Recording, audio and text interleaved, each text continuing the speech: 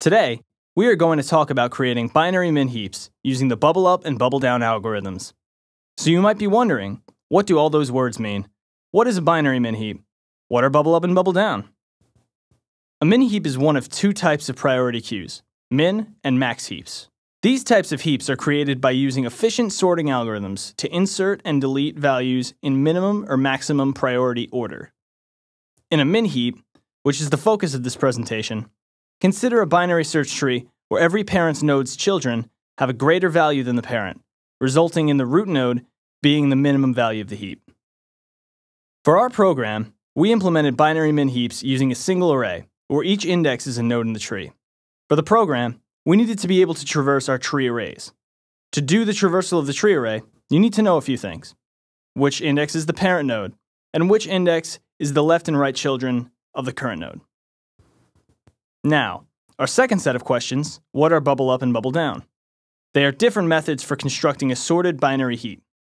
A way that they differ is bubble up sorts during the building of the tree, and bubble down sorts after the tree is completely constructed.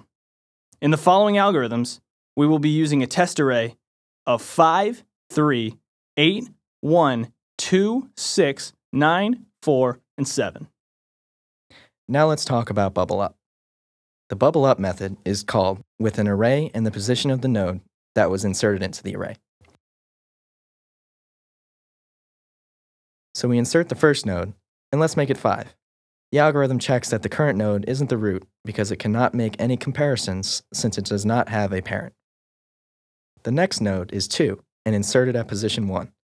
Since it is not the root, the method compares the value of the current node with the parent node and performs a swap when the current node is less. In this case, 3 is less than 5, so the swap occurs and 3 now becomes the parent and also the root, so it stops.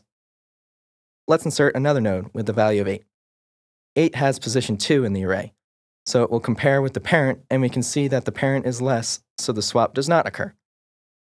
When the swap does not occur, or the current position has reached the root, then it ends the loop and moves into the next inserted element and repeats.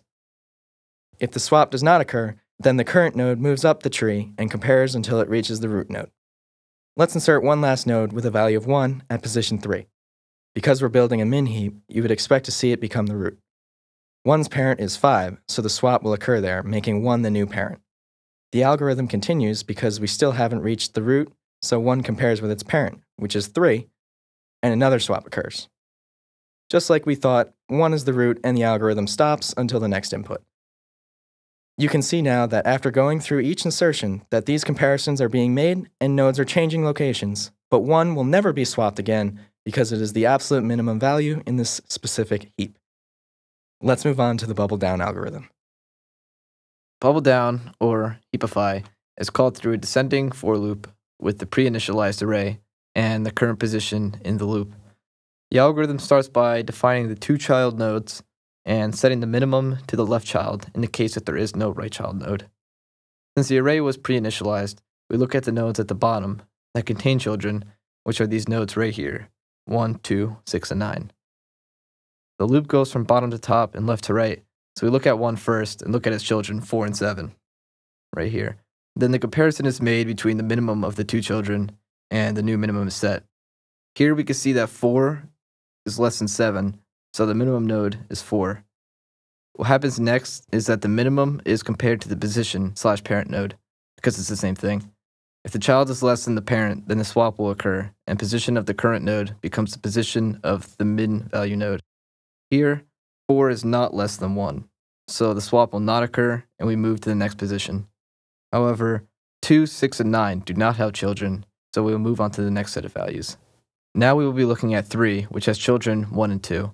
1 is less than 2, so it becomes the minimum value, and compare that to 3. 1 is also less than 3, so we swap those two values, and 1 becomes the parent node. But wait, there's more.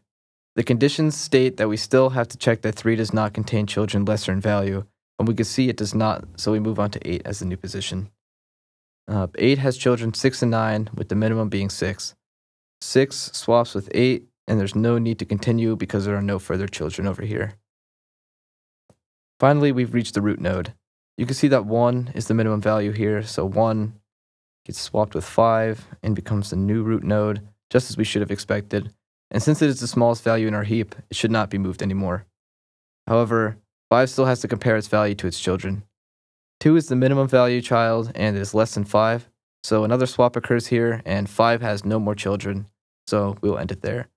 Then we move up to the next set of nodes, which only has the root, and we already know 1 is the smallest value in this heap. So this heap is sorted min heap bubble down style.